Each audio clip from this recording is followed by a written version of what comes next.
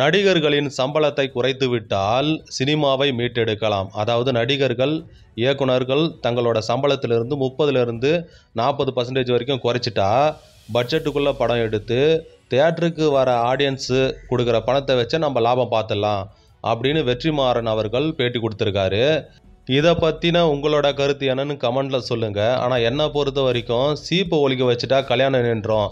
அந்த வடிவேல் காமெடி தான் ஞாபகத்து வருது. ஏன்னா இவங்க வந்து கதையே இல்லாமல் ஒரு பெரிய ஹீரோவோட கால் ஷீட்டு கிடைச்சிச்சுன்றதுக்காக ஹை பட்ஜெட்டில் படம் எடுத்து எதிர்பார்ப்பை கூட்டி இந்த படம் அப்படி இருக்கும் இப்படி இருக்கும்னு சொல்லிட்டு பில்டப்பை ஏற்றி விட்டு தேட்டருக்கு வர ரசிகர்களை ஏமாற்றி வீட்டுக்கு அமுச்சிட்டு ஃபெயிலியரை ஃபேஸ் பண்ணுவாங்களாம்.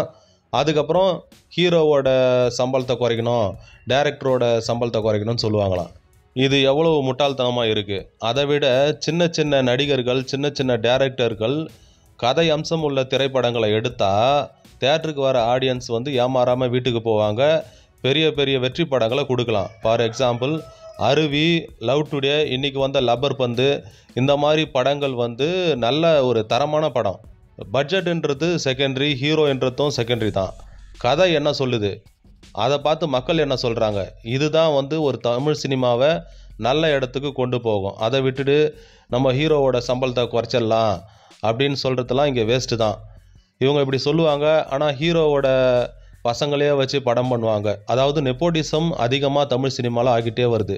பாலிவுட்டுக்கு அடுத்ததாக கோலிவுட்டில் தான் நெப்போட்டிசம் அதிகமாக இருக்குது இங்கே திறமைகளுக்கு வாய்ப்பு கொடுக்கறதில்ல. வாரிசுகளுக்கு தான் இங்கே வாய்ப்புகள் கொடுக்குறாங்க. அது ஏன்? நல்ல திறமையானவங்களுக்கு வாய்ப்பு கொடுத்தா தானே கலை வளரும்.